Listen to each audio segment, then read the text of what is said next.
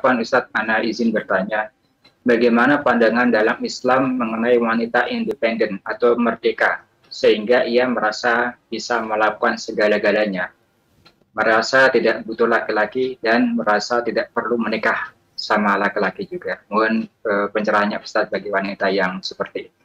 Dia tidak nikah sama laki-laki, nikah sama siapa? Karena dia bisa melakukan apa aja tanpa laki-laki mungkin. Allahu Akbar jamaah. Iya.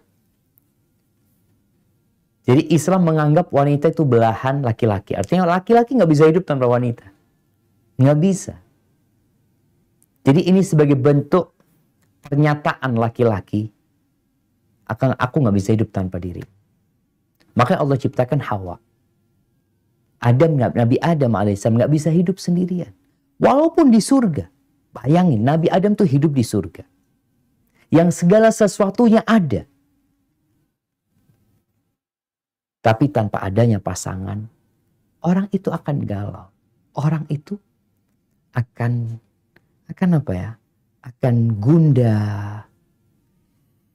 Kalau seorang wanita dia berkata dia mau hidup independen, dia nggak butuh sama laki-laki.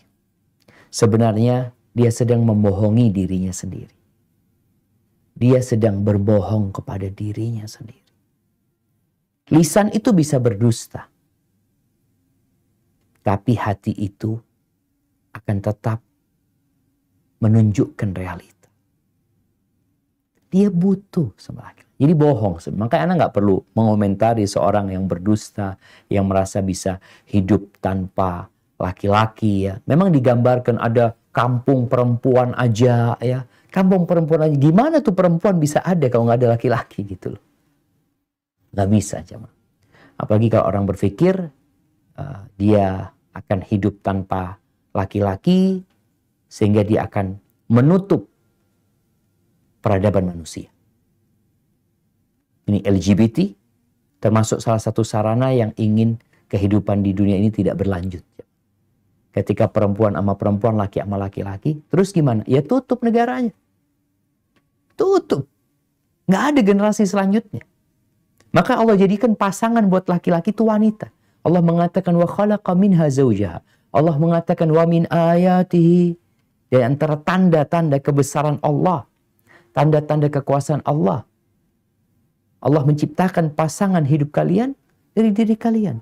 An khalaqalakum min anfusikum azwajan litaskunu ilaiha agar kalian merasakan sakinah yang artinya nggak bisa engkau mendapatkan sakinah, engkau nggak bisa mendapatkan kebahagiaan kalau pasangannya dari yang lainnya gitu. Jadi ini satu hal yang sebenarnya tidak perlu dikomentari ya karena memang sesuatu yang bertentangan dengan fitrah manusia sendiri.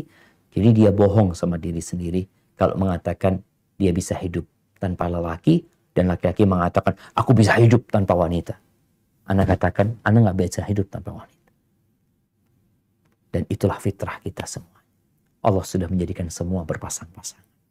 Barakallahu fikna. Ya Ustaz,